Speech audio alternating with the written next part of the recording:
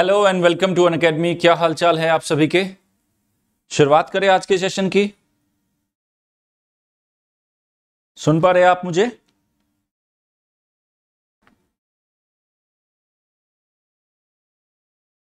Okay ठीक है। तो आ, आप सभी जानते हैं आज अन अकेडमी इंडिया में यूपीएससी सीएससी की तैयारी का सबसे बड़ा प्लेटफॉर्म है। अगर आप अन अकेडमी को सब्सक्राइब करते हो तो मेरे साथ साथ आपको इंडिया के टॉप एजुकेटर से पढ़ने का मौका मिलेगा। भूगोल लक्ष्य 2023 ओशनोग्राफी चल रहा है। हमेशा की तरह मैं बोलूँगा, क्लासेस के नोट्स बनाते रहना, रेगुलर रिवीजन करते रहना। मेरा नाम है Naveen Tanwar eight year teaching experience है, शिक्षा मेंस इंटरव्यू का एक्सपीरियंस है। मंथली करंट अफेयर मैगजीन का एडिटर रहा हूँ ज्योग्राफी से मास्टर्स यूजीसी नेट जेआरएफ दोनों क्वालिफाइड हूँ। Online teaching experience more than three thousand hours है। ये मेरा टेलीग्राम चैनल है अनकेडमी अंडर स्कोर नवीन तंवर आप सभी बच्चों को अगर मेरी क्लासेस के पीडीएफ चाहिए, आने वाली क्लासेस के नोटिफिकेशन चाहिए सब्सक्रिप्शन से पहले आपका कोई भी डाउट है, आप इधर मैसेज कर सकते हैं। उसके साथ ही साथ कम्युनिटी फीचर्स में आप रेगुलर अपडेट्स के लिए मुझे फॉलो कर सकते हैं। ये देखिए 10 नवंबर से है ना? आपका 2023 के लिए बाइलिंगुअल बैच चल रहा है। अनकेडमी का रिज़ल्ट 2020 और 21 का आप रिज़ल्ट देख सकते हो। ज़बरदस्त रिज़ल्ट है। 22 में ये और भी बेहतर होगा। और उसके साथ ही अगर आपको एडमिशन लेना है सब्सक्रिप्शन लेना है आपके सामने ऑप्शन है या तो प्लस ले लीजिए या आइकॉनिक ले लीजिए। प्लस में अगर आप जनरल स्टडीज़ का सब्सक्रिप्शन लेते हैं तो आपके पास 12, 18, 24, 36 महीने का सेम आइकॉनिक में भी आप कोई भी ले सकते हैं। फॉर एग्ज़ाम्पल आपने 18 महीने का प्लस सब्सक्रिप्शन लिया जीएस का। 67,000 वाला मेरे रेफरल कोड के बाद सिक्सटी वन थाउज़ेंड में पड़ेगा। सेम ऐसा आइकॉनिक भी 94,000 वाले में मेरे रेफरल कोड के बाद 10 परसेंट डिस्काउंट होगा। अगर आपने कॉम्बो लेना है जिसमें जीएस प्लस ऑप्शनल एक साथ जीएस प्लस ऑप्शनल एक साथ फिर सेम प्लस लो या आइकॉनिक लो। फॉर एग्जांपल आपने आइकॉनिक लिया 18 महीने का 99,000 वाला मेरे रेफरल कोड के बाद ये आपको पड़ेगा 89,000 के आसपास पढ़ने वाला है। ऑप्शनल कोई भी हो आपका history PSIR Hindi literature sociology anthropology geography ये सब मैथमेटिक्स अन अकेडमी पे ऑप्शनल चल रहे हैं, और भी ऑप्शनल है। तो आप कोई भी ऑप्शनल ले सकते हो, एक साल 18 महीने 24 महीने 36 महीने वाला। मेरे रेफरल कोड नवीन वन को आपको अप्लाई करना होगा, इससे 10 परसेंट डिस्काउंट मिल जाएगा। तो जैसे एक साल की फ़ीस लगभग तीस हज़ार है, मेरे रेफरल कोड के बाद आपको पड़ेगी सत्ताईस हज़ार में। और अगर भूगोल आपका वैकल्पिक विषय है तो कुछ सोचना ही नहीं। आप मेरे साथ जुड़ जाइए और अपनी तैयारी को अंजाम दीजिए। ये Unacademy civil services championship है बेटा। तेरह नवंबर को होगा, साठ मिनट में पचास क्वेश्चन होंगे, चालीस करोड़ रुपए का पूल है, उसमें से आपको एक्साइटिंग गिफ्ट्स मिलेंगे स्कॉलरशिप मिलेगी और टॉप फाइव रैंकर्स को आई ऑफिसर से मिलने का मौका भी मिलेगा, जो एक बार के में फ़ीस जमा नहीं कर सकता ईएमआई में सब्सक्रिप्शन ले सकता है।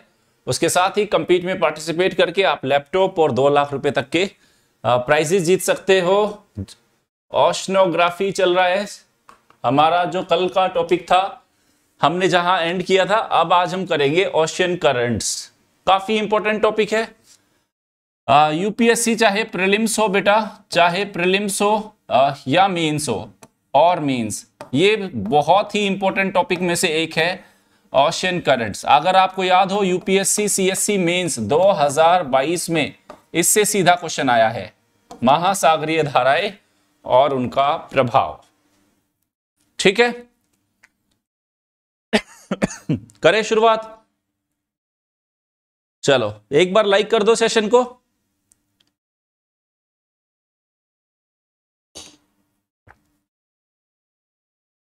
लाइक कर दीजिए।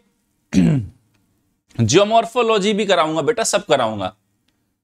क्या क्या होगा इस सेशन में, मैं आपको बता देता हूँ। जो हमारी ये सीरीज़ चल रही है, बहुत सारे बच्चों को डाउट रहता है इस सीरीज़ में क्या क्या होगा। ये जो लक्ष्य सीरीज़ चल रही है लक्ष्य है ना 2023 ये जो हमारी ज्योग्राफी वाली सीरीज़ है, इसमें आपको क्या क्या मिलने वाला है? ये आपको स्पष्ट कर देता हूँ, समझ जाओ। हमें, हमने क्लाइमेटोलॉजी पढ़ लिया इसमें पूरा, जलवायु विज्ञान। पूरा जलवायु विज्ञान हो गया। इसके बाद होगा ओशियनोग्राफी इसके बाद होने वाला है ओशनोग्राफी मतलब जो अभी चल रहा है, समुद्र विज्ञान। इसके बाद होगा आपका कॉस्मोलॉजी ब्रह्मांड को देखेंगे और जियोमॉर्फोलॉजी तो जियोमॉर्फोलॉजी ये मैं कराने वाला हूँ डोंट वरी उसके बाद हम करेंगे इंडिया ज्योग्राफी इंडिया ज्योग्राफी और और सबसे बड़ी बात पैरेलल पैरेलल हमारे टेस्ट भी कंडक्ट होंगे। टेस्ट पैरेलल चलेंगे।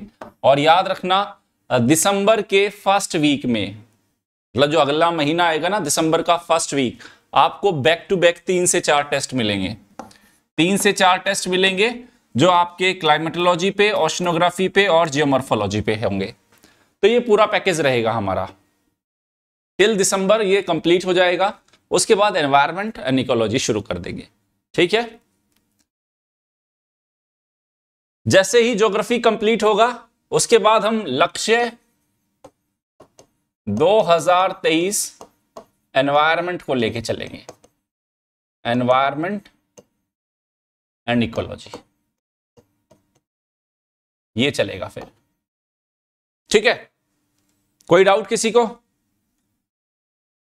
कोई डाउट नहीं है ना? तो बस पढ़ो। 25 से ज़्यादा क्वेश्चन आने वाले हैं। 25 के 25 से 30 के 20 क्वेश्चन आएँगे। Geography plus environment and ecology. Environment and ecology, है ना? और मिनिमम मिनिमम मिनिमम हम 20 क्वेश्चन सॉल्व करेंगे सीधा अपनी क्लास से। ये मेरा टारगेट है कि हम 20 क्वेश्चन हमारी इसी क्लास से आएँगे। ओके बाकी का 20 आपको, बाकी जो आप हिस्ट्री पढ़ोगे पॉलिटी पढ़ोगे इकोनॉमी पढ़ोगे साइंस टेक पढ़ोगे आईआर पढ़ोगे करंट अफेयर पढ़ोगे, वो बाकी वहाँ से ले आना। इस क्लास से 20 से मिनिमम 20 क्वेश्चन होंगे। चले। तो आ जाओ, आगे चलते हैं अब। तो महासागरीय धाराएँ क्या है? महासागरीय धाराओं को देखते हैं डेफिनेशन देखते हैं। महासागरीय धाराएँ आपने बहुत नाम सुने होंगे कि सर अटलांटिक ओशन की करंट्स के बारे में इंडियन ओशन की करंट्स प्रशांत महासागर की धारा तो व्हाट इज़ धारा? धारा धारा, शुद्ध धारा, वो वाला धारा नहीं है ये। ठीक है? ये है महासागरीय धाराएँ। तो आगे बढ़ने से पहले दो चीज़ समझ लो मेरे साथ। दो बातें समझ लो मेरे साथ। ये समुद्र है। This is ocean this is ocean ये है आपका सी लेवल ये है सी लेवल सी लेवल और ये सी बॉटम है। दिस इज़ सी बॉटम आ गई बात समझ में? अब इस समुद्र में दो तरह की धाराएँ आपको देखने को मिलेगी। पहली पहली धारा जिसको हम सतही सतही, सागरीय धारा बोलते हैं। कुछ कुछ चीज़ें यहीं क्लियर कर देता हूँ मैं। सतही सागरीय धारा बोलेंगे। ओके? और उसके बाद होगी आपकी एक नीचे होगी आपकी गहन महासागरीय धारा।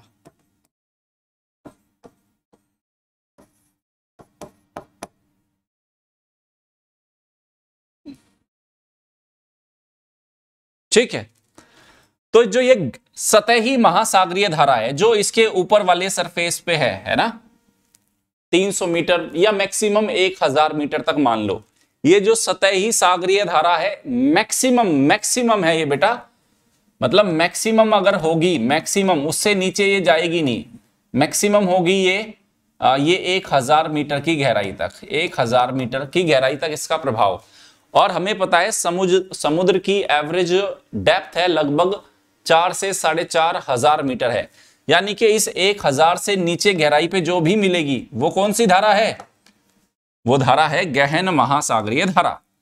ये जो ऊपर वाली जो धारा है, ऊपर वाली धारा जो ये चलती है, इस पे आपकी ट्रेड विंड, वेस्टर्लीज और ईस्टर्लीज, इसका इंपैक्ट है। ओके? यहाँ मेजर रोल ये प्ले करेगी, लेकिन जैसे ही आप ज़्यादा गहराई में जाओगे, तब तब आपका डेंसिटी और डेंसिटी को प्रभावित करने वाले कारक कौन कौन से हैं? हमने देखा था तापमान और लवणता। तो सतही सागरीय धारा और गहन सागरीय धारा, दो तरह की धाराएँ हैं।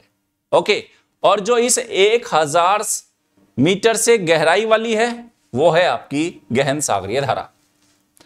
एक आप कई बार एक टर्म पढ़ोगे, पता नहीं एनसीआरटी e में तो शायद नहीं होगा, एक शब्द आएगा, पिक्नोक्लाइन। पिक्नोक्लाइन। Pycnocline layer. ठीक है तो what is this pycnocline layer? क्या है ये पिक्नोक्लाइन लेयर? उपोष्ण, लिख लेना बेटा। उपोष्ण व उष्ण कटिबंधीय महासागरीय क्षेत्रों में, महासागरीय क्षेत्रों में 300 से 1000 मीटर की गहराई में, की गहराई वाली ये आपका एक लेयर है या क्षेत्र बोल दो परत या क्षेत्र, जहाँ घनत्व में, सागरीय घनत्व में तेज़ी से परिवर्तन होता है। तेज़ी से परिवर्तन होता है। तो कई बार यूपीएससी आपको ये स्टेटमेंट लिख के दे सकता है। सुन लो बेटा। कई बार हो सकता है यूपीएससी ये स्टेटमेंट लिख के दे कि जो गहन महासागरीय धाराएँ पिक्नोक्लाइन लेयर के नीचे प्रवाहित होती है तो यस तो अगर मैं लिखूं गहन महासागरीय धारा कहाँ है ये? ये आपकी पिक्नोक्लाइन लेयर के नीचे। और ये पिक्नोक्लाइन लेयर क्या है? उष्ण या उपोष्ण कटिबंधीय क्षेत्रों में 300 से एक, एक हज़ार मीटर की गहराई वाला क्षेत्र जहाँ घनत्व में तेज़ी से परिवर्तन होता है। याद रहेगा? इधर और इधर। यस इस हाँ ये लो भाई, बच्चे कह रहे सर, थोड़ा साइड हो जाइए। हो गए।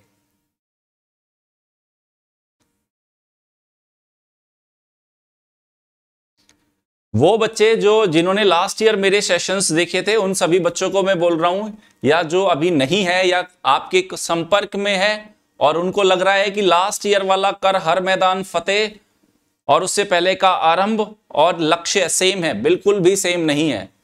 मैं जब भी हर साल आऊँगा, आपके लिए कुछ नया लेकर आऊँगा। मेरी क्लासेस में आपको रिपीटेड कंटेंट नहीं मिलेगा। ये बात ध्यान रखना। कुछ चीज़ें कॉमन रहेगी, लेकिन हर बार आपको कुछ मिलेगा यार। इस वाले बैच में कुछ नया था, इस वाले बैच में कुछ नया था। पिछले साल से बहुत अच्छा और अगले साल इससे भी अच्छा। ठीक है? तो चलो, इतना हो गया हमारा। तो अब ये है क्या? है क्या? आप देख लेते हैं। तो क्या है महासागरीय धाराएँ? तो एक निश्चित दिशा में, निश्चित दिशा समझ रहे हो? जाना किधर है? इधर जाना है, इधर जाना है, इधर जाना है। डायरेक्शन डायरेक्शन है।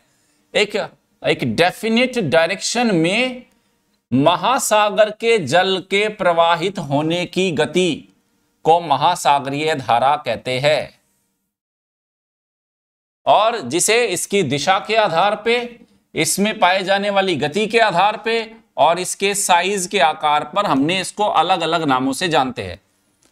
जैसे इसके अलग अलग टाइप देखो। जैसे प्रवाह, आपने कई बार नाम सुना होगा North Atlantic drift North Atlantic drift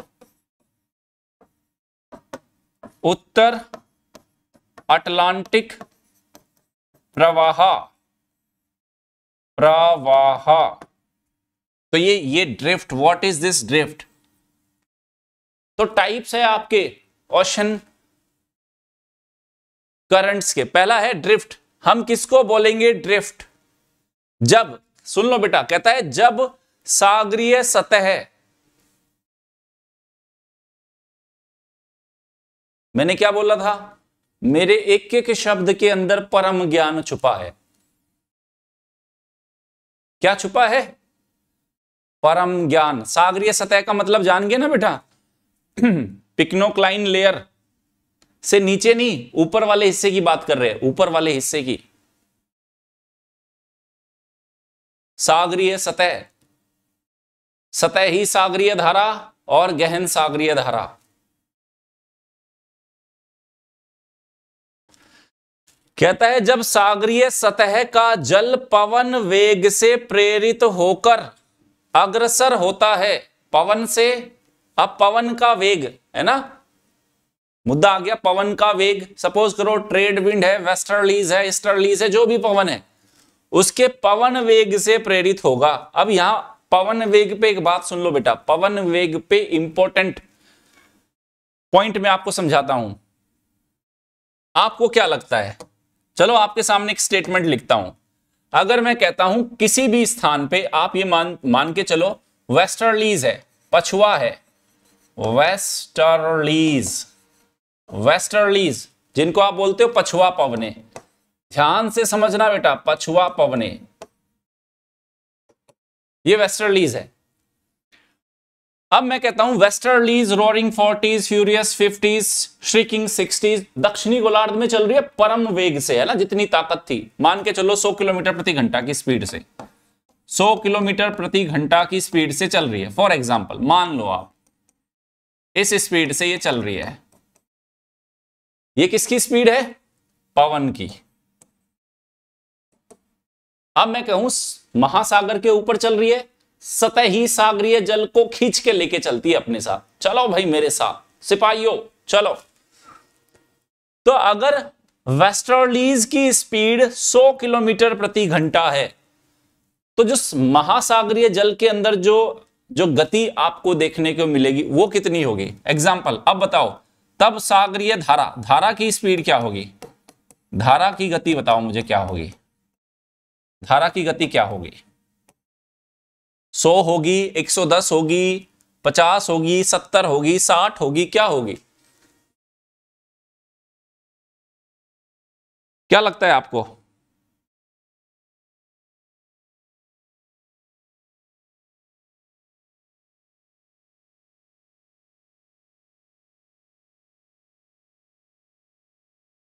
क्या लगता है? तीन 300 100 100 से कम।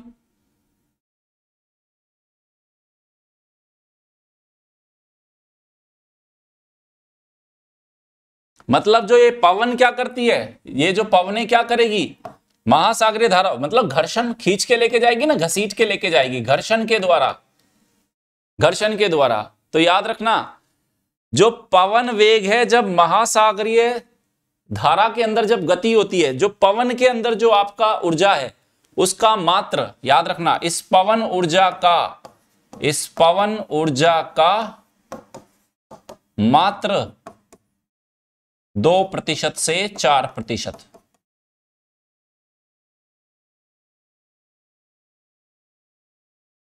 इसका मतलब आप बता दो स्पीड क्या होगी। अगर पवन की स्पीड 100 किलोमीटर प्रति घंटा है तो महासागरीय धारा की स्पीड क्या होगी?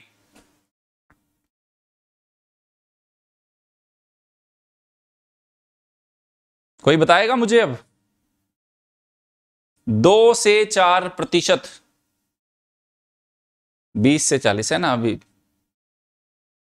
दो किलोमीटर प्रति घंटा से लेके, दो किलोमीटर प्रति घंटा से लेके, चार किलोमीटर प्रति घंटा। आया कहानी समझ में?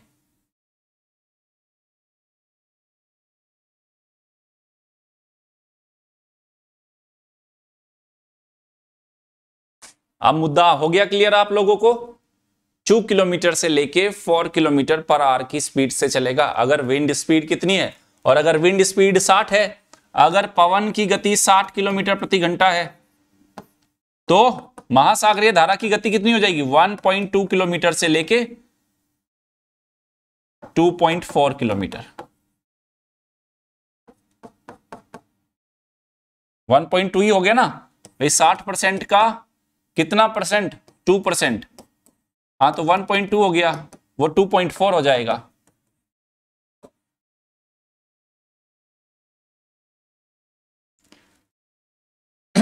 तो ये बात ध्यान रखना। तो अब ये कहता है, सुन लो अब ये कहता है कि जब सागरीय सतह का जल पवन के वेग से प्रेरित होकर आगे बढ़ता है तो उसे हम कहते हैं प्रवाह। इसका सर्वोत्तम उदाहरण है दक्षिणी अटलांटिक में, दक्षिणी अटलांटिक प्रवाह और उत्तरी अटलांटिक महासागर में उत्तरी अटलांटिक प्रवाह। इसकी गति और सीमा निश्चित नहीं होती। गति और सीमा क्या नहीं होगी? निश्चित नहीं होगी। कितना स्पीड होगा और कितने क्षेत्र से जाएगी। आप ऐसे बाउंड्री नहीं, ऐसे कोई बाउंड्री तय नहीं कर सकते। सेकंड है, धारा। जब महासागर का जल एक निश्चित सीमा के अंदर, देखो निश्चित सीमा, अभी उसकी उसकी बाउंड्रीज उसकी क्या है? निश्चित है। निश्चित सीमा में और निश्चित दिशा में तेज़ी से आगे बढ़ता है तो उसको कहते हैं हम धारा। इसकी गति अधिक होती है, जैसे एलेनिनो धारा, बेंगुला धारा, क्योरशियो धारा, किनारी धारा। तीसरा है विशाल धारा, बड़ी।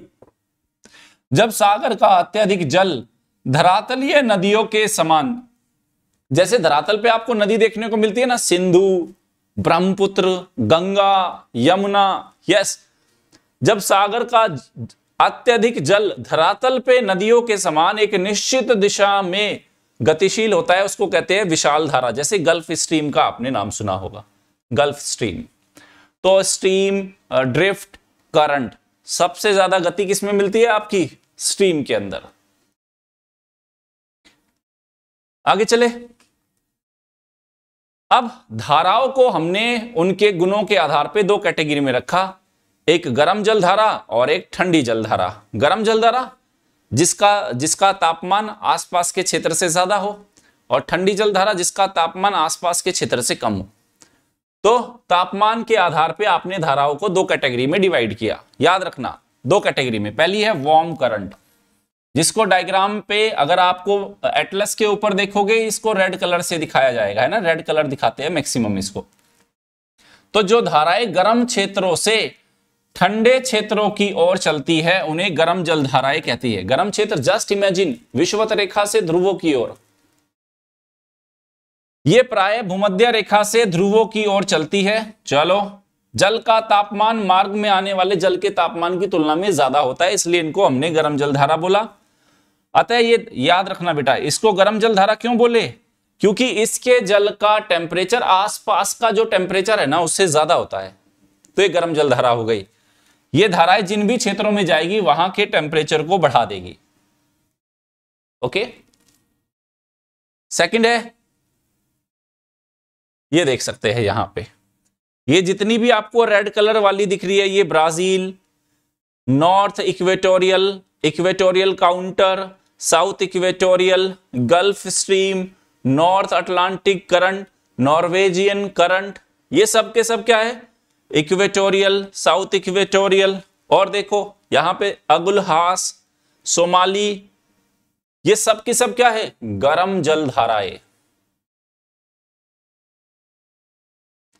और जो आपको ये ब्लू कलर में नज़र आ रही है, जैसे बेंगुला हो गई, ये ब्लू कलर में, ये ठंडी है। इधर ये किनारी है, ये ठंडी है। इसके बाद ये लेब्राडोर की धारा, ये ठंडी जल धारा है। ईस्ट ग्रीनलैंड करंट, ये ठंडी जलधारा है। इधर कैलिफ़ोर्निया को देखो, ये ठंडी जलधारा है, पेरू की जलधारा। ये देखिए, ओके, पश्चिमी पवन प्रवाह, ये देखिए, पश्चिमी ऑस्ट्रेलियाई धारा, ये भी क्या है, ठंडी जलधारा। इधर ओयोशियो की धारा, ये आपकी ठंडी जलधारा। तो रेड और ब्लू कलर से दिखाई गई है। रेड वाली वार्म करंट और ब्लू वाली आपकी ठंडी जल ठीक है? ये डायग्राम आप एक बार देख लेना इसको। पढ़ाऊँगा, ये सब एक एक करके सब पढ़ाने वाला हूँ। जैसे कैलिफ़ोर्निया है। संयुक्त राज्य अमेरिका के पश्चिमी तट पे। ये देखो कैलिफ़ोर्निया की ठंडी जलधारा। ये क्यों है? कैसे बनी? क्या कारण है? आने वाली क्लासेस में हम देखने वाले हैं। डोंट वरी अभी तो सिर्फ़ देखो।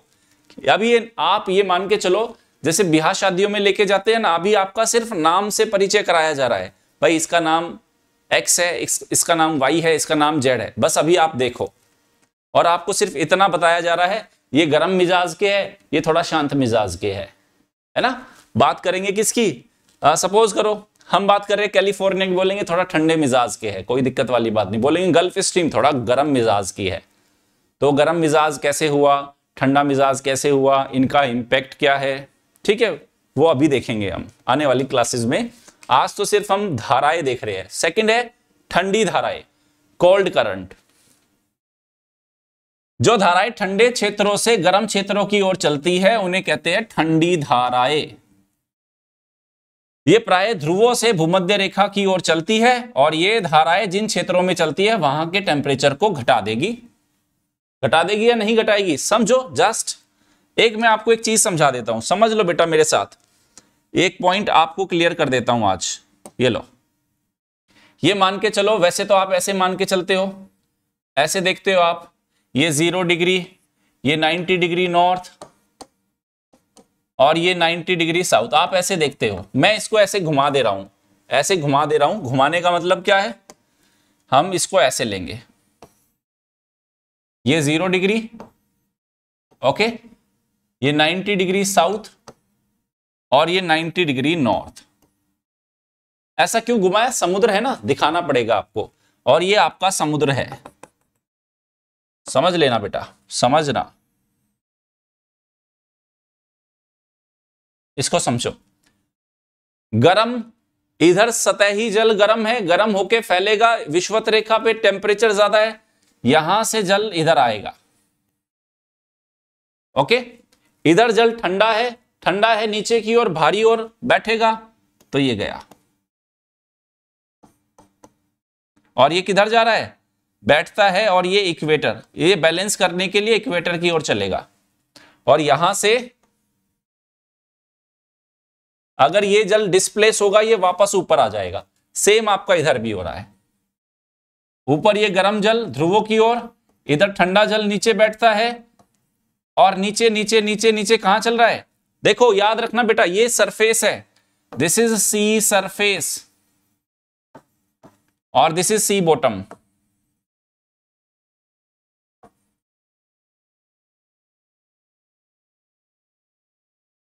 ये कहानी समझ में आ रही है? कहानी समझ में आ रही है? तो जैसे यहाँ, जैसे क्या करेगी? पवने आपकी ट्रेड विंड वेस्टर्लीज ईस्टर्लीज इस सरफेस के वाटर को लेके जाएगी। नीचे से उसकी कमी को पूरा करने के लिए ये पानी का क्या होगा? उद्वेलन होगा। ये बात समझ में आई आपको? तो इसको तो जो नीचे जा रहा है, इसको हम बोलते हैं डाउन वेलिंग और जो ये ऊपर की ओर आ रहा है, इसको बोलते हैं अपवेलिंग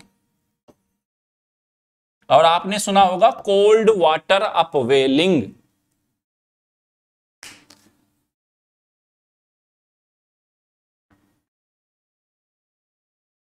अब एक अब एक चीज़ देखो। कल मैंने आपको क्या बताया था? मैंने कल आपको यह बताया था कि महासागरीय जल की लवणता को महासागरीय जल के गुणों को प्रभावित करने में वायुमंडलीय गैसों का भी रोल होता है। बताया था ये मैंने? नहीं। बता दो मुझे। कल मैंने बोला था ना, वायुमंडल की कुछ गैसेस जो आप जब वायुमंडल इंटरेक्ट करता है किसके साथ? जल के साथ। तो कुछ गैसेस उसके अंदर डिजोल्व हो जाती है। डिजोल्व हो जाती है, होगी या नहीं? बताओ मुझे।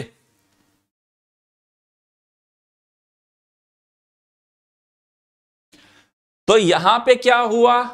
एटमॉस्फेयर ने इंटरेक्ट किया।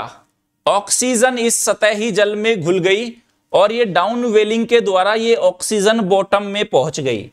और बॉटम में जितने भी जीव जंतु है बॉटम में जितने भी जीव जंतु है, समझ लो, कुछ चीज़ें यही समझा दे रहा हूँ, क्योंकि बाद में कई बार मैं भी भूल जाता हूँ। अभी ताज़ा ताज़ा है, आपको सब समझ में आ जाएगा। This is sea bottom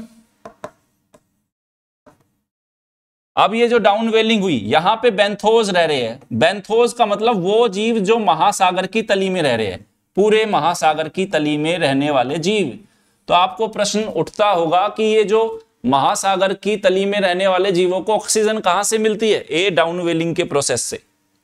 oxygen dissolve हुई, नीचे आई डिस्ट्रीब्यूट हो गई। डिजोल्व हुई, नीचे आई और इस बॉटम लेयर में आपको ऑक्सीजन मिलता है। यहाँ पे जो आपको ऑक्सीजन मिलता है, ये ऑक्सीजन किसकी वजह से मिलता है? डाउन वेलिंग से। किससे मिलता है ऑक्सीजन डाउन वेलिंग से।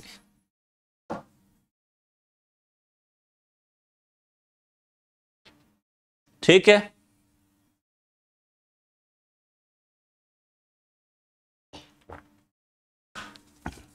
रुको। ठहरो इतनी कहानी समझ में आ गई?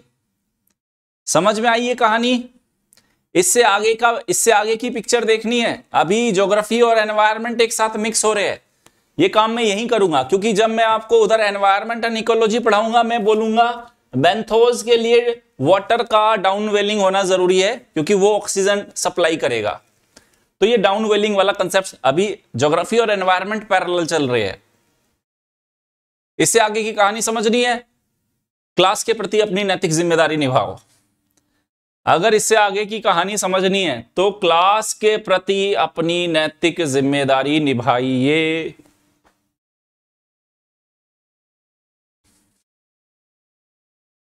लाइक कीजिए क्लास को।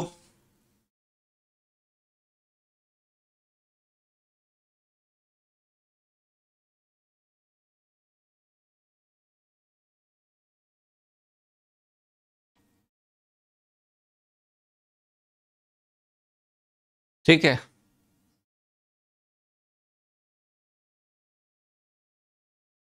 आते ही लाइक कर देते हैं। कुछ नहीं करते, कुछ बच्चे वो आते ना सिर्फ़ पड़ोसियों की तरह। कुछ देखते खिड़की खोलते अच्छा नवीन सर की क्लास चल रही है, चलो, देख लेते हैं।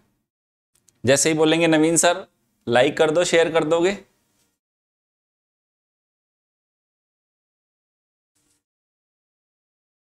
एक बटन दबाने में लाइक का पता नहीं क्या प्रॉब्लम है।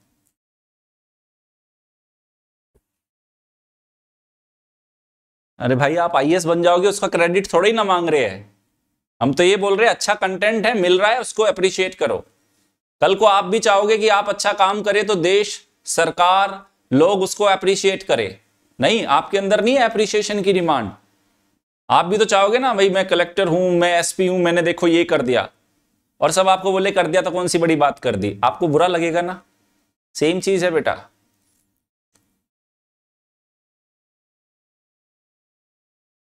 आ जाओ, अब आगे आगे आगे देखो।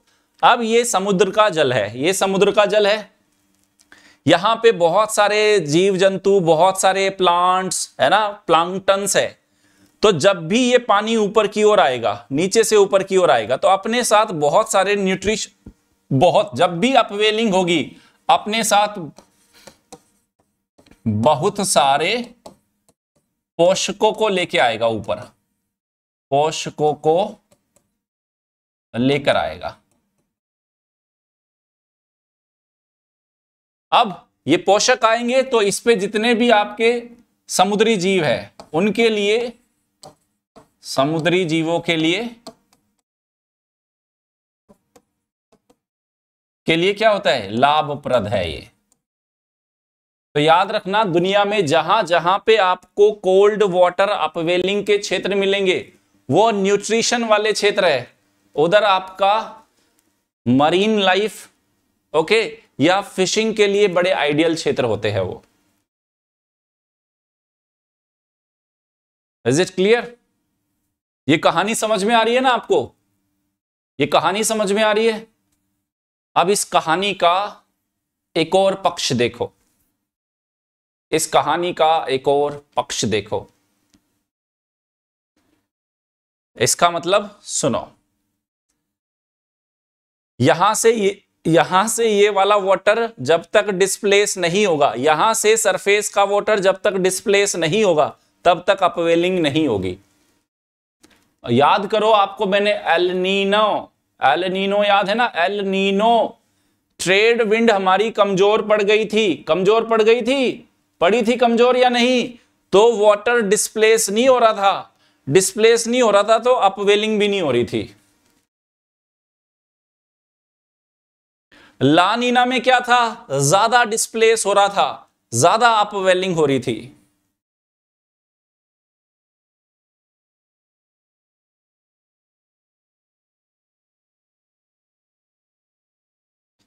ठीक है। अपवेलिंग मतलब जल का, शीत जल का ऊपर की ओर उठना। अबे भाई, निशान लगाया हुआ है ना, पानी है ये। ये पानी ऊपर की ओर उठ रहा है, समुद्र से। समुद्र के बॉटम से समुद्र के सरफेस पे आ रहा है पानी।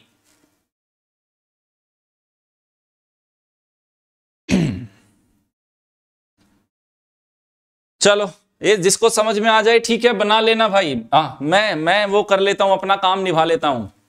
अच्छी सी पिक्चर खिंचा लेता हूँ, है ना? वो पीटी वाला एग्ज़ाम होगा ना क्वेश्चन आएगा तो दिखाने में काम आएगा मुझे।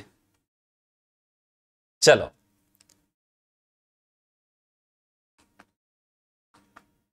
तो अब कहता है, जो ये महासागरीय कहता है, जो महासागरीय धाराओं की उत्पत्ति और इनकी गति को प्रभावित करने वाले कारक कौन से हैं? कैसे उत्पन्न होती है ये? ठीक है सेम क्वेश्चन था यूपीएससी सीएससी मेंस 2022 यही क्वेश्चन था।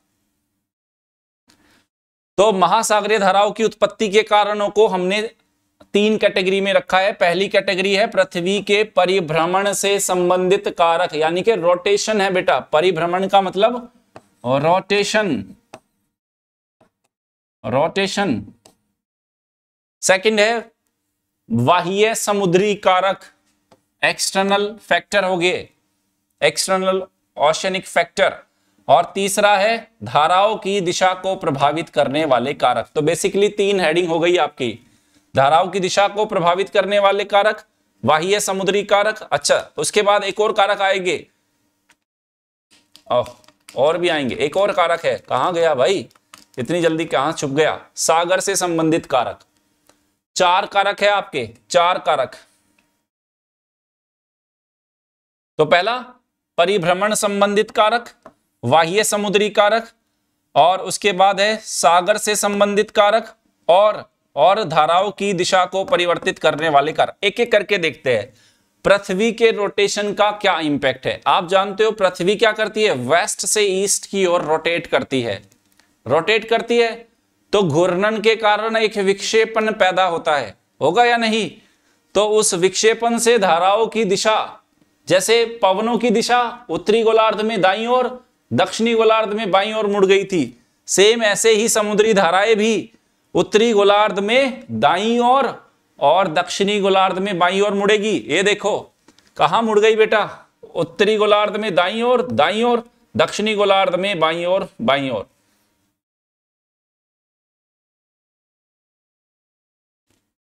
चलो, पहला कारक, वाह्य समुद्र, यानी कि समुद्र के ऊपर कौन कौन से फैक्टर काम कर रहे हैं? वायुदाब एयर प्रेशर पवनों की डायरेक्शन क्या डायरेक्शन है? वाष्पोत्सर्जन इवापोरेशन कैसा और वर्षण कैसे है? ये सबको डिटेल में बताऊँगा डोंट वरी चारों कारकों को डिटेल में बताऊँगा वाह्य समुद्री कारक। फिर धाराओं की दिशा को प्रभावित करने वाले कारक। धाराओं की दिशा को प्रभावित करने वाले कारक का मतलब क्या है? आ, सपोज़ करो ये दक्षिण अमेरिका ये दक्षिण अमेरिका का तट है भाई। ये तट है। यहाँ से समुद्री धारा आई है, इससे टकराएगी तो तट इसको क्या कर देगा? मॉडिफाई कर देगा। भाई, आधे इधर जाओ, आधे इधर जाओ। तो तट की दिशा और उसका आकार कैसा है? तो समुद्री धाराओं की दिशा को प्रभावित करेगा ये। इसलिए कहा, फिर तल में आकृति कैसी है? आकृति का मतलब सपोज़ करो, वो बहुत सारी रिजिज थी ना, रिजिज। वो कटक आ रही है ऊपर की ओर, काफ़ी बड़ी कटक है। तो कटक आई तो कटक इधर से धारा आई, बोली, चलो मेरे साथ साथ फिर मौसम में परिवर्तन और पृथ्वी का परिभ्रमण। देखो, याद रखना बेटा, यहाँ पे पृथ्वी, यूपीएससी आपसे सुनो। यार, बड़ा इंपॉर्टेंट चीज़ है ये। थोड़ा सा एक बार गहरी सांस ले लो, चीज़ें ओवरलैप ना हो जाए। सुनो बेटा। इस हेडिंग देखो। हेडिंग क्या है? दिशा को प्रभावित करने वाले कारक। अगर यूपीएससी आपसे डायरेक्शन पूछता है कि धाराओं की डायरेक्शन को प्रभावित करने वाले कारक कौन से हैं? तो एक कारक तो हो गया तट की दिशा, जो मैंने अभी आपको बताया था। दूसरा कारण, तल की आकृति, उसके बॉटम में कैसी आकृतियाँ है? तीसरा मैंने बताया था दिशा, मौसमी परिवर्तन। मानसून जानते हो ना? ग्रीष्मकालीन मानसून क्या है? ग्रीष्मकालीन मानसून की दिशा ये, शीतकालीन उत्तर पूर्वी मानसून की दिशा ये। तो पवन की दिशा चेंज हुई तो धाराओं की भी दिशा चेंज हो गई। चौथा कारण है पृथ्वी का परिभ्रमण। उससे विक्षेपण बल, विक्षेपण प्रभाव पैदा होगा उत्तरी गोलार्ध में दाई और दक्षिणी गोलार्ध में बाई ओर। तो अगर यूपीएससी स्टेटमेंट देता है, धाराओं की दिशा को प्रभावित करने वाले कारक तो ये चारों कारक है। अगर उत्पत्ति की बात करता है, याद रखना बेटा दिस इज़ डायरेक्शन और ये वाले कारक कौन से है? उत्पत्ति और गति। मिक्स तो नहीं होगा ना? याद है? उधर डायरेक्शन है और इधर उत्पत्ति के कारक है। चलो, एक एक करके अब ये देखते हैं वाह्य समुद्री कारक के अंदर क्या क्या है। इसके अंदर हम देखेंगे वायुमंडल का दबाव क्या रोल प्ले करता है विंड डायरेक्शन वर्षा, वाष्पीकरण, कैसे ये समुद्री धाराओं को प्रभावित करेंगे। चलो, पहले देखते हैं वायु दाब एयर प्रेशर आप एक बात बताओ जहाँ पर एयर प्रेशर सिंपल सी लॉजिक आपसे ऐसे ही पूछ रहा हूँ। एक स्थान ए है, एक स्थान बी है। इधर ए प्रेशर एयर प्रेशर ज़्यादा है, इधर एयर प्रेशर कम है। तो समुद्र का जल किधर ऊपर होगा, बताओ। ये ए स्थान, ये बी स्थान। इधर एयर प्रेशर ज़्यादा, इधर एयर प्रेशर कम। तो समुद्र का जल, ये समुद्र के स्थान है। तो किधर ऊपर होगा? इधर ऊपर होगा या इधर ऊपर होगा? This is A this is B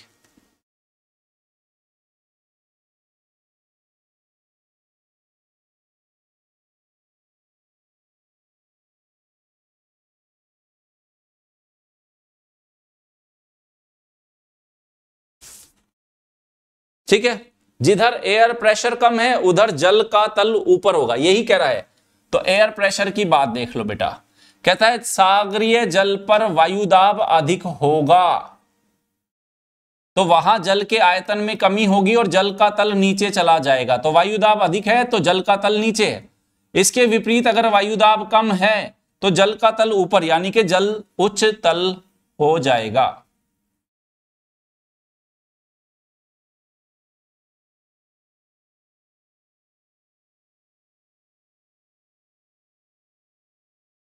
ठीक है? फिर हवाएँ हवाएँ बताओ। हवाएँ तो जिधर चलेगी, उधर ही लेके चल पड़ेगी। घर्षण घर्षण के साथ घसीट के लेके चलेगी। तो धाराओं की उत्पत्ति में हवाओं की भूमिका अत्यधिक महत्वपूर्ण है। पर्टिकुलरली कौन सी धारा? सतही याद रखना। सतही महासागरीय धारा। महासागरीय धारा। हवाओं की या हम इसको और रिफाइंड करूँ, मैं पवन लिख देता हूँ विंड है ना? पवनों की भूमिका अत्यधिक महत्वपूर्ण होती है। जब ये पवने, जब ये पवने, सागरीय जल के ऊपर घर्षण उत्पन्न करती है, तब अपने साथ लेके चलती है। और पवन ऊर्जा का, पवन ऊर्जा का मैंने आपको क्या बताया? सिर्फ़ दो से चार प्रतिशत ही ट्रांसफ़र होता है। दो से चार प्रतिशत। दो से चार प्रतिशत ही है। तो आप ये समझ लेना कि ऐसा नहीं कि समुद्र में धाराएँ चल रही है डेढ़ सौ किलोमीटर प्रति घंटा की स्पीड से तो आपको तो कुछ करना ही नहीं है। फिर इंजन विंजन की ज़रूरत क्या थी? ऐसे ही डाल दो कोई भी ना हो बैठ जाओ, लेगी डेढ़ सौ किलोमीटर प्रति घंटा की स्पीड से आपको। पर इंजन की तो फिर भी ज़रूरत ज़रूरत पड़ेगी या नहीं?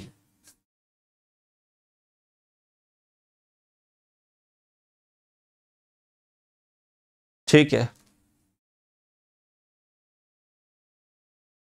वो तो फिर बिल्कुल ऐसा हो जाएगा छोटा सा बच्चा नहीं बैठता, ढलान पे बैठ जाता है अपनी उस साइकिल को लेके, है ना? ढलान के साथ ही, वो कोई ब्रेक नहीं, कोई कंट्रोल नहीं, भागे जा रही है। फिर तो जो होना है, आप जानते ही हो।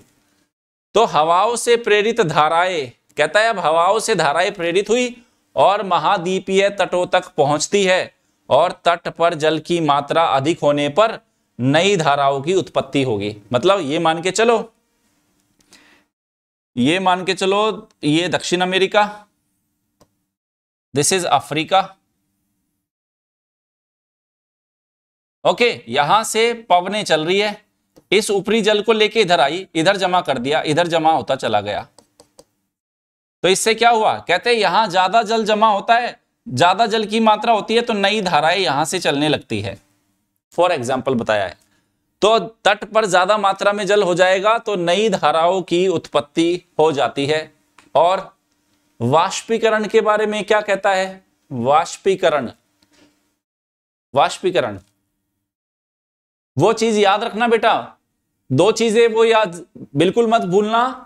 लवणता और तापमान का पवनों के साथ जो संबंध है, वो बिल्कुल मत भूलना। साफ़ लिख देता हूँ। महासागरीय लवणता। महासागरीय लवणता।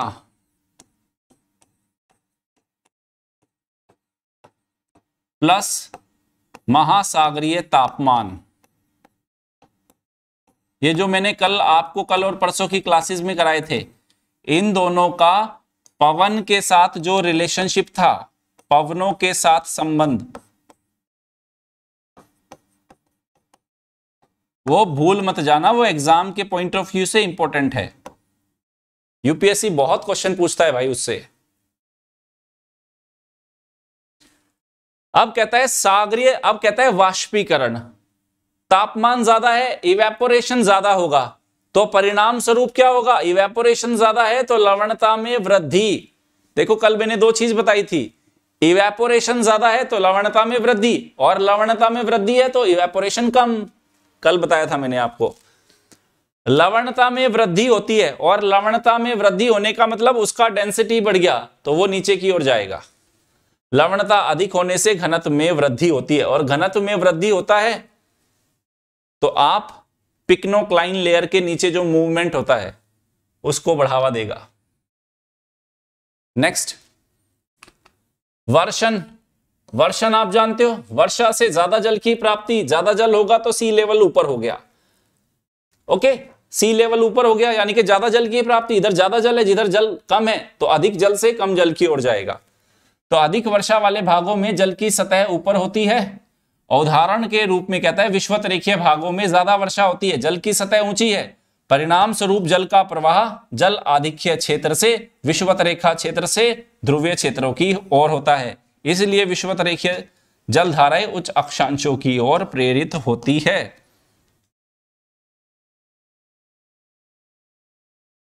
नेक्स्ट प्रचलित पवने। कहता है प्रचलित पवने। जब सागर के ऊपर से गुजरेगी तो घर्षण के द्वारा उसको अपने साथ खींच के लेके चलती है और धाराओं को जन्म देती है। और बेसिकली जो भी होगा, ये धाराएँ स्थायी पवनों की बात कर रहे हैं बेटा। ट्रेड विंड वेस्टर्लीज और ईस्टर्लीज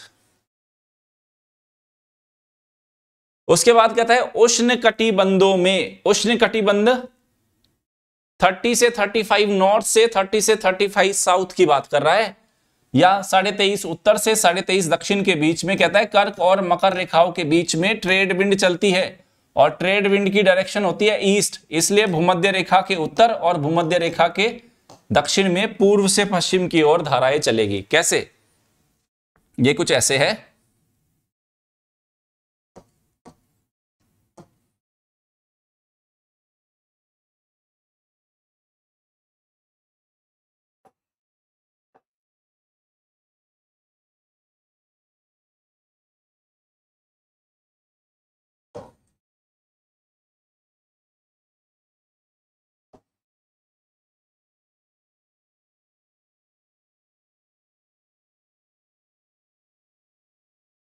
अभी इधर कहता है,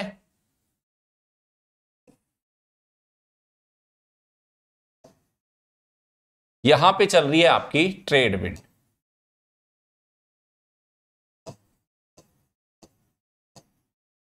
ये ट्रेड विंड और और यहाँ पे फिर आपकी चलेगी वेस्टर्लीज ये आपकी चलेगी वेस्टर्लीज पता है ये आपको कंसेप्ट तो कई बार इसको हम देख चुके, पढ़ चुके।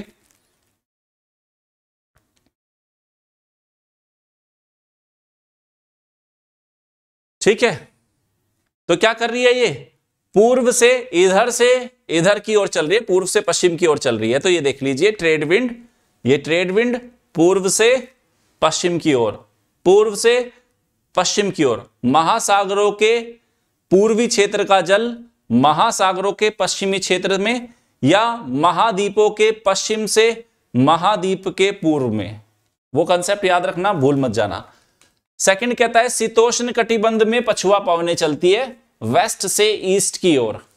ओके तो ये देख लो।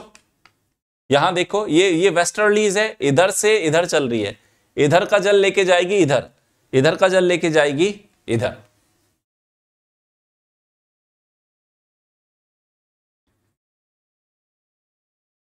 ओके। अब है सागर से संबंधित कारक। सागर से संबंधित सागर के अंदर क्या चल रहा है?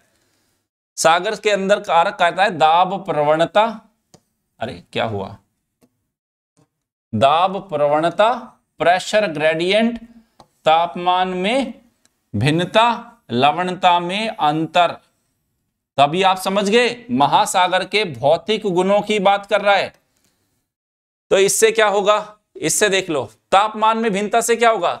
अगर टेम्परेचर वाटर के टेम्परेचर का डिफरेंस है तो गर्म जल फैलेगा विश्वत रेखा से ध्रुवों की ओर जाएगा। गर्म जल फैलता है और ठंडा जल सिकुड़ता है। तो इसलिए कटिबंधीय जल, यानी कि उष्ण कटिबंधों का जल सतह से फैलकर ध्रुवों की ओर जा रहा है और संतुलन के लिए ध्रुवों का जल सतह के नीचे से आता है। ये मैंने आपको कहानी समझा दी थी। ये कहानी मैंने आपको पहले ही समझा दी थी। This is equator 90 degree south 90 degree north इधर वाला जल जा रहा है इधर, और संतुलन के लिए इधर वाला जल आ रहा है इधर। ये डाउन वेलिंग था, ये अप वेलिंग था।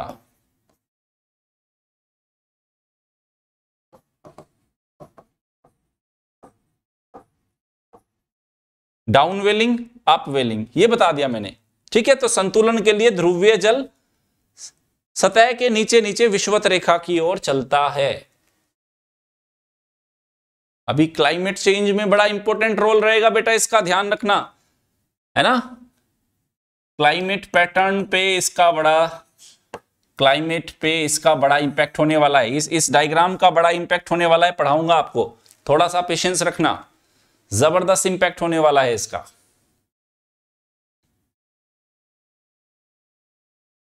फिर लवणता में अंतर? देखो लवणता युक्त जल का घनत्व ज़्यादा है, ज़्यादा घनत्व का जल नीचे की ओर जाएगा, कम घनत्व वाला जल ऊपर की ओर रहेगा।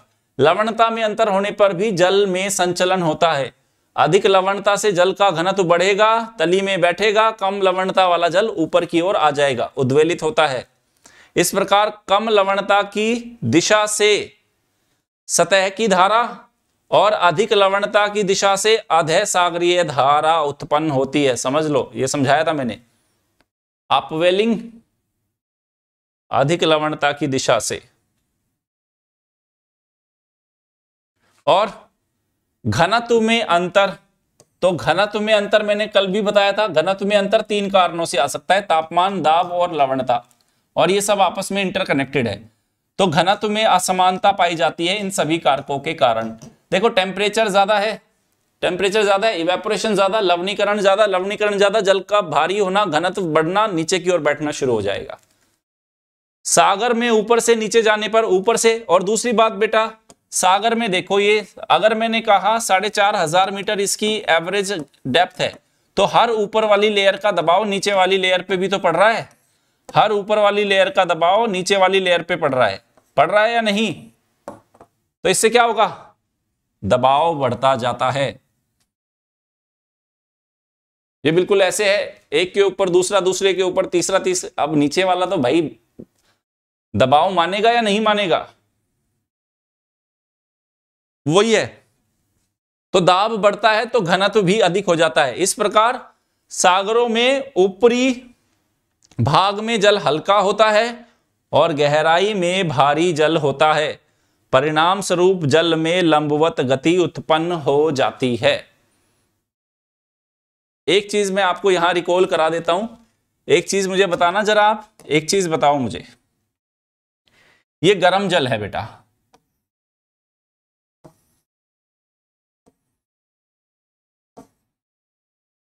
और एक है सॉरी ये वाला है ठंडा जल। दिस इज़ कोल्ड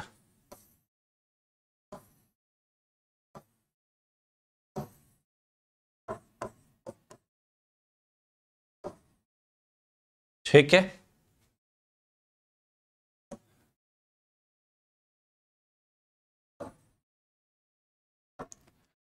अब इसके ऊपर से भी पवने चल रही है है ना? इसके ऊपर से पवने चलती है। पवन चला दो किसी रंग की भी। इसके ऊपर से चल रही है पवने। ये पवने। इसके ऊपर से भी पवने चल रही है।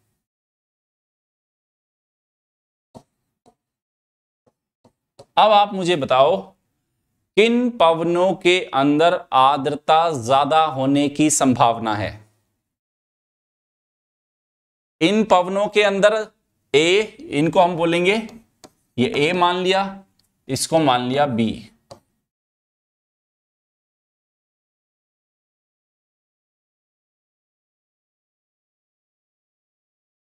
क्यों?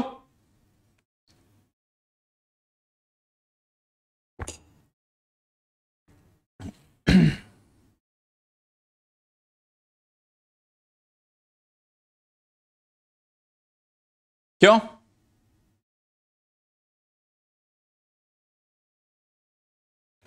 ऐसा क्यों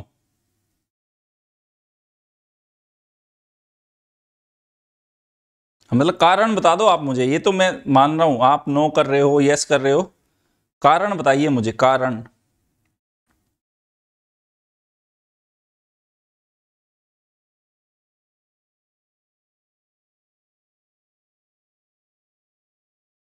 कारण?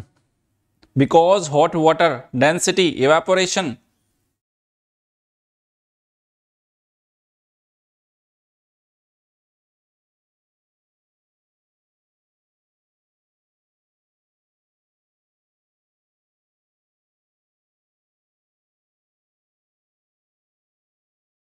ठीक है? यस ए वाला राइट है। ए वाला राइट है। तो ये इन इन पवनों के, ये पवने आर्द्र और गर्म होगी।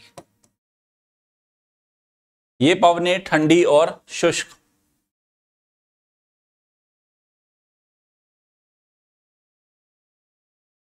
अब जस्ट इमेजिन आ जाओ।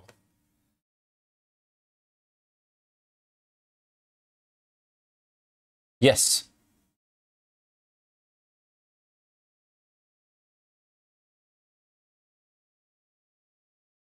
यहाँ पे आपका एक डेजर्ट है। नाम याद है? कालाहारी कालाहारी कालाहारी मरुस्थल। और यहाँ पे एक धारा बहती है ठंडी धारा। एक ठंडी समुद्री धारा है। कौन बताएगा इस सम, इस समुद्री धारा का नाम? मैंने बी लिखा है बताओ। कौन सी ठंडी समुद्री धारा है?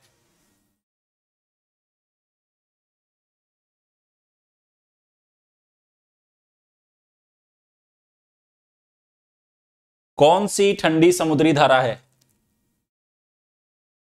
पेरू। पेरू कैसे होगी भाई यहाँ पे?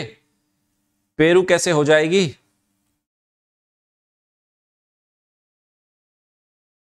बताओ।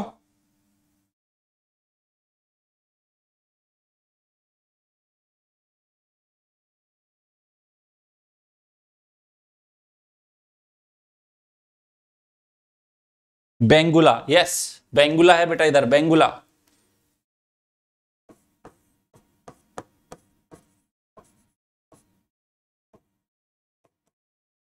ठंडी है ये सेम सेम दक्षिण अमेरिका में अटाकामा दक्षिण अमेरिका के अंदर अटाकामा डेजर्ट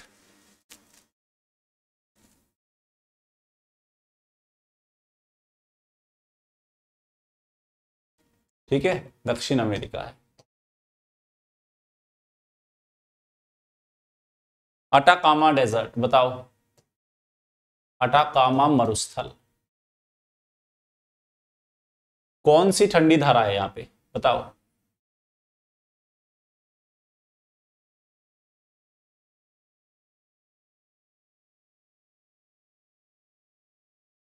Yes, Peru. बहुत बढ़िया।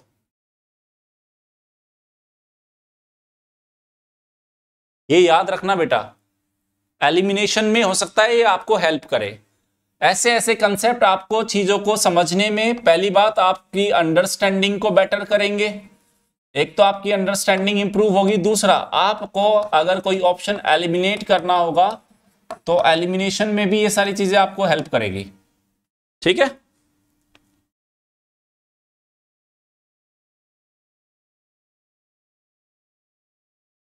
चलो। तो कहते हैं, घनत्व में भिन्नता के कारण जल में लंबवत गति होगी। लंबवत गति होगी, चलो, ठीक है। फिर क्या आया?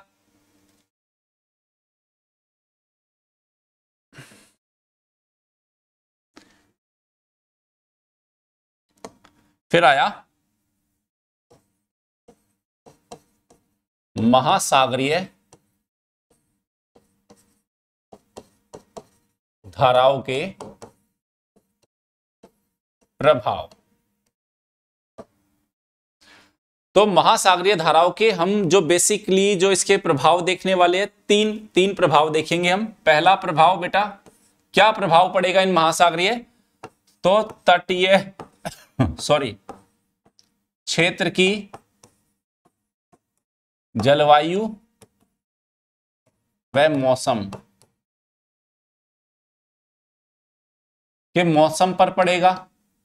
दूसरा, सागरीय जीवों के ऊपर क्या प्रभाव पड़ेगा इसका?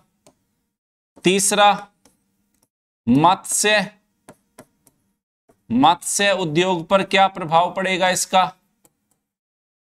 और चौथा, हम देखेंगे, व्यापार पर प्रभाव। ये चार हमारे मेन हेडिंग होंगे जिसपे हम महासागरीय धाराओं के प्रभाव को देखेंगे। अब अब सुनो सुनो सुनो सुनो सुनो सुनो सुनो। एक स्टेटमेंट दे रहा हूँ, ऐसे ही ऐसे ही खेल रहे थोड़ा सा। नॉलेज के साथ ऐसे, वो बचपन में नहीं खेला खेल। ये बॉल उसके पाले में, उसने उसको फेंक दी, उसने लपक ली। ऐसा एक खेल खेलते हैं, चलो। ऐसा एक खेल खेलते हैं। एक नॉलेज गेम खेलते हैं। मैं अगर एक स्टेटमेंट लिखता हूँ, सुनो, एक स्टेटमेंट लिख रहा हूँ बेटा, देखो, एक स्टेटमेंट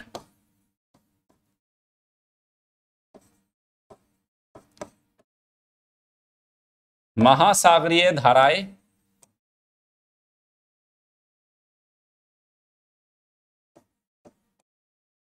तटीय क्षेत्रों पर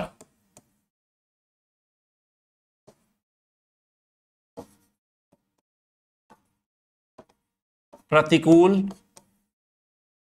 प्रभाव डालती है। यस और नो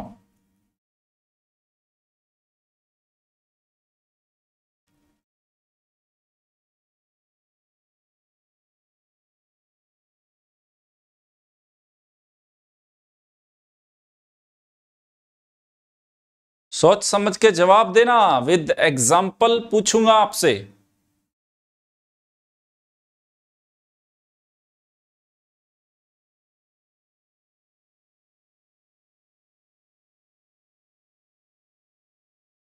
बता दो, प्रतिकूल।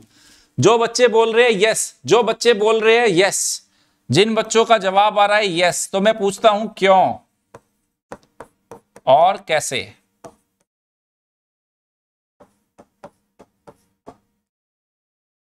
घुमाओ अपने दिमाग की फिरकी। क्यों और कैसे?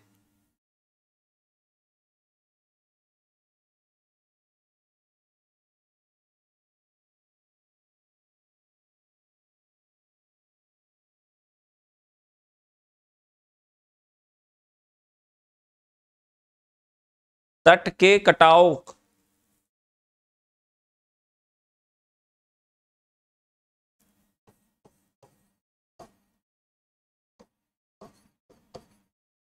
ये लो, कुछ बच्चे होशियार हो रहे थे। आप बताओ।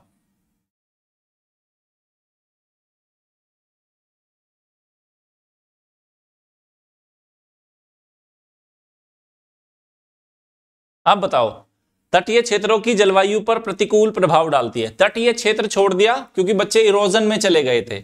मैं आप पूछ रहा हूँ जलवायु के रेफरेंस में।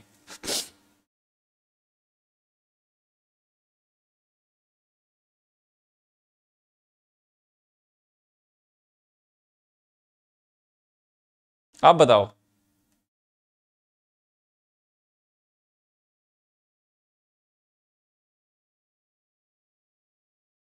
नहीं मिल रहा? सोच नहीं पा रहे?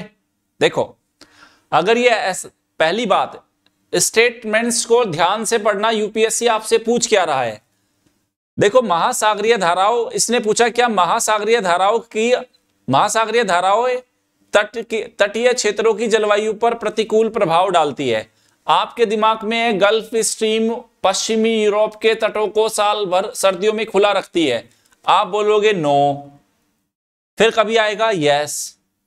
तो ये क्वेश्चन ये पूछता है कि प्रतिकूल प्रभाव डालती है या नहीं। अगर आपने इसका जवाब नो दे दिया, इस नो का मतलब अब वो दुनिया में कहीं भी प्रतिकूल प्रभाव नहीं डालती। लेकिन ऐसा नहीं है, प्रतिकूल प्रभाव डालती है।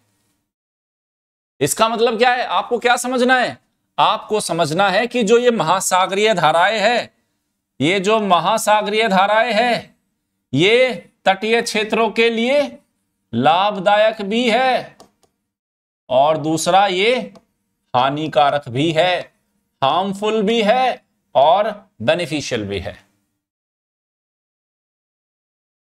दोनों।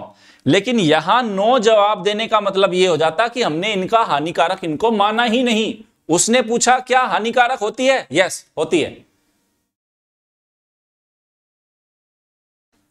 अब एग्ज़ाम्पल अब एग्ज़ाम्पल देखो। अब देखो एग्ज़ाम्पल असली खेल तो बेटा एग्ज़ाम्पल का ही है ना, पूरा का पूरा। पूरा खेल ही एग्ज़ाम्पल का है। पूरा खेल ही एग्ज़ाम्पल का है।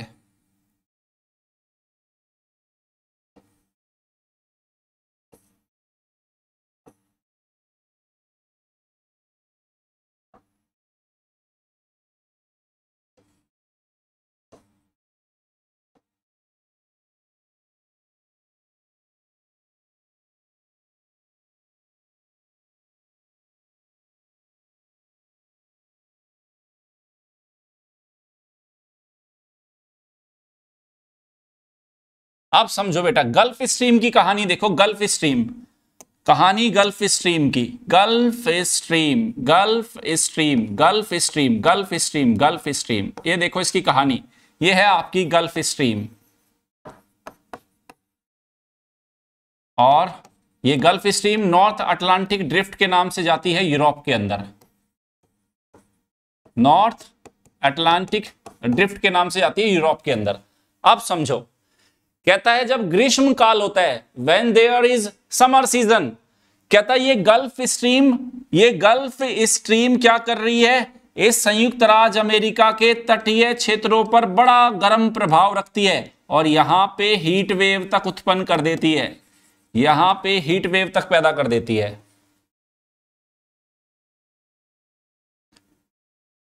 ये ही गल्फ स्ट्रीम जब यूरोप में जाती है शीतकाल में और यहाँ ठंडा होता है तो यहाँ पे क्या करती है? ये यहाँ पे इसका आ, मृदु प्रभाव है। तो यहाँ पे ये क्या हो गई? लाभदायक। और यहाँ पे क्या हो गई ये? हानिकारक। यहाँ पे हो गई हानिकारक।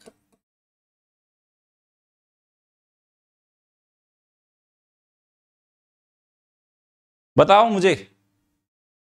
कैसा रहा?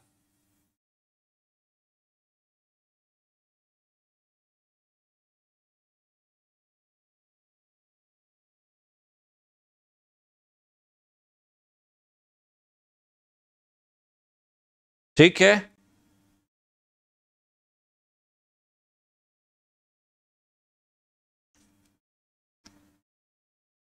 बेटा यूपीएससी एनसीईआरटी से बाहर निकल चुका है, आप भी निकल जाओ। मैं हमेशा एक ही बात बोलता हूँ, अभी वो एनसीआरटी एनसीआरटी पढ़ो, बहुत ज़रूरी है। लेकिन बहुत सारे बच्चों को यह लगता है कि सिर्फ़ एनसीआरटी पढ़ने से अभी यूपीएससी होगा, बिल्कुल नहीं होगा। सिर्फ़ एनसीआरटी पढ़ने से नहीं होगा एनसीआरटी आपकी बेसिक अंडरस्टैंडिंग के लिए बहुत ज़रूरी है। लेकिन अपनी तैयारी को मात्र एनसीआरटी तक सीमित मत रखो। दिक्कत हो जाएगी।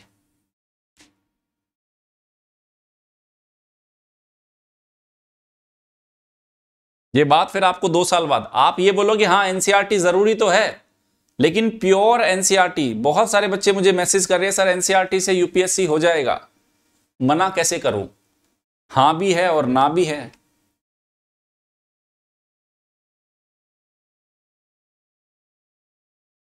होगा भी और नहीं भी। एनसीआरटी बहुत ज़रूरी है, समझो एनसीआरटी बहुत ज़रूरी है, लेकिन सिर्फ़ एनसीआरटी से काम नहीं होगा। तो थोड़ा थोड़ा सा अपना लेवल अपग्रेड करके चले मेरे साथ। जिनको बिल्कुल ज्योग्राफी नहीं आता, जिनको बिल्कुल पॉलिटी नहीं आता, बेसिक हिस्ट्री कुछ भी नहीं पता, उसको कहीं से शुरुआत करनी है तो एनसीआरटी बेस्ट है। लेकिन आपको बड़ा खेल खेलना है। बड़ा खेल समझ गए ना? अभी सिलेक्शन वाला बड़ा खेल खेलना है। मुख्य परीक्षा, है ना? आंसर राइटिंग ओके अच्छी अच्छी आपकी पकड़ सब्जेक्ट अंडरस्टैंडिंग तो थोड़ा सा ऊपर चलना पड़ेगा। बस मेरा प्रयास यही है कि एक लेवल हम थोड़ा आगे जाके देखेंगे तो क्वेश्चन हमारी रेंज में आने शुरू हो जाएँगे। इसका जो बाकी का जो ये पार्ट है, जो बाकी वाला पार्ट है, उसको हम कल करेंगे। आज यही समाप्त करते हैं। और आप बच्चों को पता है इंटरनल सिक्योरिटी जो बच्चे प्लस पर इस कोर्स को देख रहे हैं, ज़बरदस्त फीडबैक है। है ना? ज़बरदस्त फीडबैक है। ज़बरदस्त क्राउड इस कोर्स को देख रही है। तो आप भी इसको देख सकते हैं। एक नवंबर से शुरू हो चुका है। आज क्लास नंबर फोर होगी इंटरनल सिक्योरिटी पे हमारी। तो साढ़े छह बजे से साढ़े आठ बजे चलती है ये क्लास साढ़े छह से साढ़े आठ चलती है ये अन अकेडमी प्लस पर। तो जिस भी बच्चे को ये क्लासेस देखनी है, वो मेरा रेफरल कोड नवीन वन लगा के अन अकेडमी को सब्सक्राइब कर सकता है। तेईस वाले बच्चे थोड़ा सीरियस हो जाओ, समय कम बचा है अपनी तैयारी में एक और दूसरे गेयर में गड्डी मत चलाओ। तीसरे चौथे गेयर में लगाने का समय आ गया है। एनवायरमेंट एंड इकोलॉजी पे भी मेरा प्लस कोर्स है अकेडमी ऐप पे प्लस पे जाके आप देख सकते हैं। जोग्राफी ऑप्शनल लाइव क्लासेस चल रही है मेरी। नवीन वन रेफरल कोड से आप अगेन जोग्राफी ऑप्शनल का कोर्स परचेज कर सकते हैं और मेरा रेफरल कोड से आप हिंदी मीडियम इंग्लिश मीडियम कोई भी कोर्स परचेज कर सकते हैं, कोई इश्यू नहीं होगा उससे आपको। उसके साथ ही ये मेरी फ्री स्पेशल क्लासेस है। अभी कुछ दिनों से नहीं ले पा रहा क्योंकि मेरे बैचेस बहुत ज़्यादा है। प्लस पे ही मेरे दो दो घंटे के दो बैच हो जाते हैं रोजना चार घंटा उधर फिर इधर यूट्यूब तो जैसे ही एक एक आधा कोर्स मेरा प्लस का कंप्लीट होगा वापस से स्पेशल क्लास शुरू हो जाएगी। आंसर राइटिंग इंग्लिश कंपलसरी उधर फिर हम आ, आ, टेस्ट पेपर्स भी लगाएँगे। प्लस पर मेरे course geography optional ethics integrity aptitude internal security और एनवायरमेंट एंड इकोलॉजी आप देख सकते हैं। बस ध्यान रखना रेफरल कोड यही लगेगा तो मज़ा आएगा आपको मेरे साथ। क्योंकि इस तैयारी में आपको मेरे साथ ज़बरदस्त मज़ा आने वाला है। कहते हैं बिल्कुल नवीन तवर सर आपके साथ आके खड़े हो जाएँगे। जैसे ही आप ये रेफरल कोड लगाते हो, उसके साथ ही साथ ये कुछ फ्री क्लासेस है डिजास्टर मैनेजमेंट ऐसे राइटिंग नैतिकता की अदालत अन अकेडमी ऐप पे जाके आप फ्री ऑफ़ कॉस्ट देख सकते हैं। और 6 नवंबर के दिन सुबह 11 बजे कॉम्बैट होगा। आप मेरे रेफरल कोड से बिल्कुल फ्री ऑफ़ कॉस्ट पार्टिसिपेट कर सकते हो। टॉप 50 बच्चों को 50 परसेंट ढाई तक 30 परसेंट उसके बाद 500 तक 25 परसेंट का स्कॉलरशिप डिस्काउंट है। ये टेस्ट सीरीज़ है अन अकेडमी की ज़बरदस्त मुख्य परीक्षा 2023 को टारगेट करके 25 से ज़्यादा टेस्ट है। हमारा परफॉर्मेंस देख सकते हो, साल 2022 मुख्य परीक्षा में सत्तावन फिफ्टी सेवन के आसपास क्वेश्चन डायरेक्टली इनडायरेक्टली हमारी टेस्ट सीरीज़ से आया है। शानदार इवेल्युएशन मॉडल आंसर मिलेगा। मात्र नौ मिनट के अंदर आप आंसर लिखना सीख जाओगे।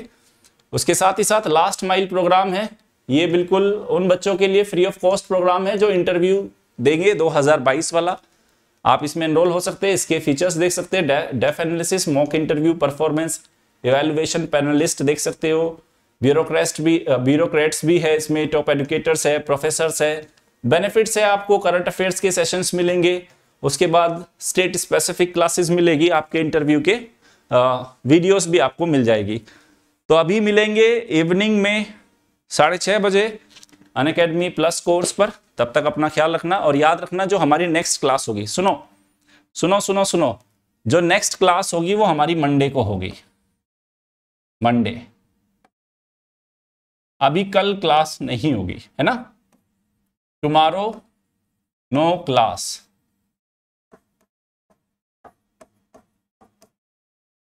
ठीक है?